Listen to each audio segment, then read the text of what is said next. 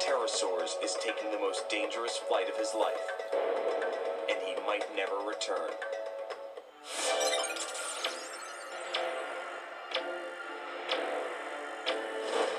You are traveling back in time. Millions of years flash by in seconds. You're going face to face with the wildest creatures that ever walked the earth. You're about to explore prehistoric planet.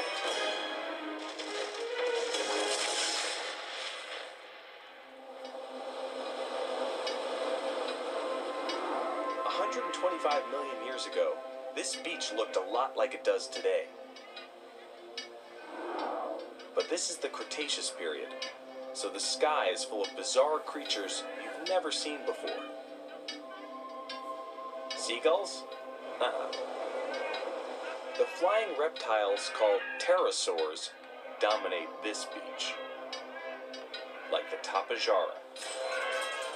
This pterosaur is three times bigger than a modern eagle, with a 10 foot wingspan. But he's a runt compared to the king of the skies. Meet Ornithocheirus, the most terrifying pterosaur in the air. At 10 feet tall with a 40 foot wingspan, he's wider than a small airplane. See those little fingers on his wing? Ornithocheirus means bird hand. Ah, great work, reptile namers. When the king comes in for a landing, there's no runway needed.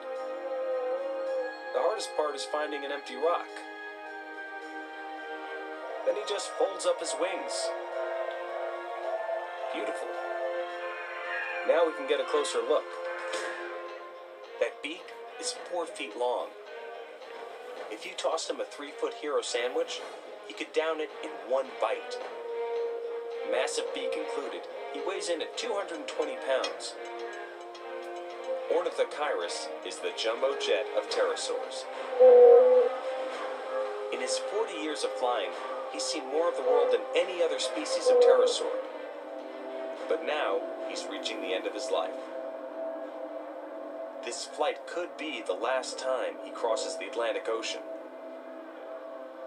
His awesome expedition starts here, in ancient South America. He's heading home to the island where he was born. A 9,000 mile adventure, more than a third of the way around the world. Why take such a long and dangerous journey? It's time to find a mate. But no animal can go globetrotting on an empty stomach. He makes a quick stop at the fish market. Go ahead, one more try. Ah, got one. Not half bad for a senior citizen.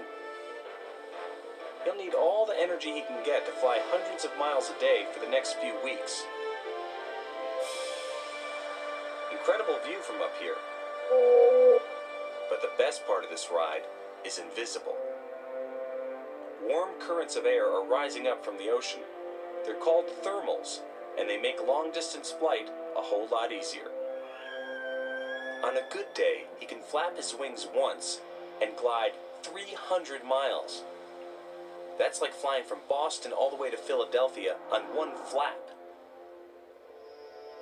Ornithocheirus rules the skies, no argument there. But down on the beaches of prehistoric Florida are the lords of the land, the dinosaurs. A herd of iguanodon, to be exact. They're on the move for the same reason as Ornithocheirus.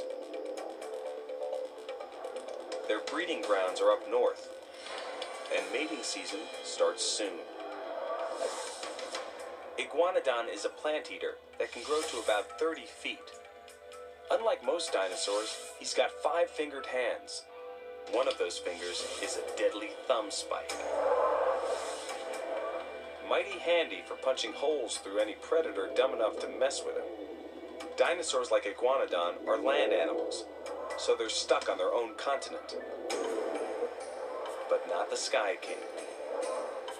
He's an international traveler and an authority on the world's best beaches.